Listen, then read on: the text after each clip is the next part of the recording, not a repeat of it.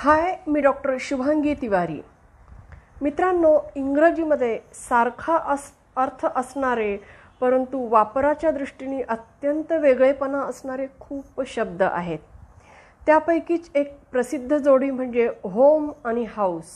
दोन्हींचा अर्थ घर असाच होतो परंतु त्यांच्या वापरामध्ये पराकोटीची भिन्नता आहे.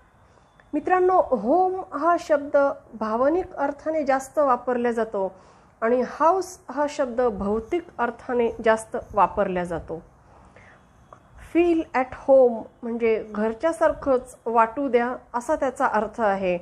आणि my office is housed in Shangrila complex म्हणजे इथे माझं ऑफिस शांग्रिला कॉम्प्लेक्स नावाच्या बिल्डिंगमध्ये आहे असा त्याचा अर्थ होतो. त्यामुळे होम आणि हाऊस यांचा वरवरचा अर्थ आपल्याला घर असाच वाटत असला तरी देखील त्यांच्या वापरामध्ये ह्या दोन अत्यंत महत्त्वाच्या गोष्टी आहेत की होम हे नेहमी भावनिक अर्थाने वापरलं जातं आणि हाऊस हे नेहमी भौतिक अर्थाने वापरलं जातं.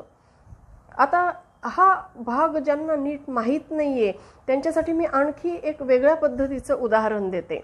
जर आपल्याला होम आणि हाऊसचा वापराचा हा भावनिक आणि भौतिक भाग आपल्याला समजलेला नसेल तर त्यांच्याकरता म्हणून आपण नेहमी एक असं पाटी पाहिलेली असते कुठेतरी हाऊस फॉर सेल अशी पाटी पाहिलेली असते. तुम्ही कल्पना करा जर दोन्हींच्या वापरातला फरक आपल्याला माहीत नसेल तर कुणी जर असं ठरवलं हाऊस फॉर सेलच्या पाटीमधलं हाऊस काढून तिथे होम लिहिलं तर होम फॉर सेल किती विचित्र वाटतं काहीतरी वेगळंच वाटतं ते. अर्थातच ते तसं लागू होत नाही इंग्रजीमध्ये असं म्हटल्या जात नाही. म्हणून होम आणि हाऊस या दोनही शब्दांचा अर्थ घर असाच असला तरी देखील त्या घराच्या छटा अतिशय वेगवेगळ्या आहेत. म्हणून जिथे होम वापरायचं आहे तिथे त्याला हाऊस हे सबस्टिट्यूट म्हणून किंवा अल्टरनेटिव्ह म्हणून वापरता येत नाही. तर होमच्या ठिकाणी होमच वापरावं लागतं आणि हाऊसच्या ठिकाणी हाऊसच वापरावं लागतं. होम हा शब्द बऱ्याच वेळा नुसता घर नसून आपल्या देशासाठी सुद्धा वापरला जातो.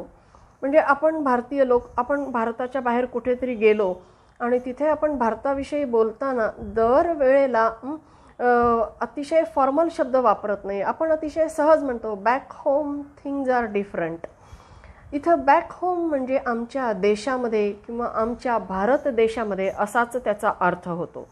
म्हणून दुसऱ्या पद्धतीने पाहायला गेलं तर होम म्हणजे निव्वळ एखाद्या कुटुंबाचे राहण्याची जागा नसून होम हे भावनिक अर्थाने आपल्या घराच्या बाहेर येऊन ते आपल्या देशापर्यंत पसरलेलं आपल्याला आढळू शकेल.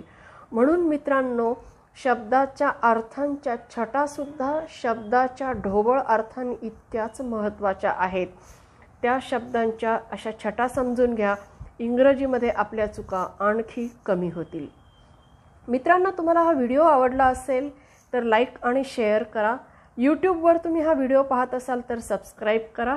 या व्हिडिओबरोबरच माझ्या वेबसाईटची लिंक दिलेली आहे.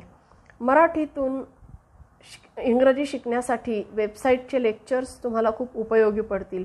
आणि काही लेक्चर्स सॅम्पल लेक्चर्स तुम्हाला ऐकण्यासाठी फ्री अवेलेबल केलेले आहेत. त्यांचा लाभ घ्या. थँक्यू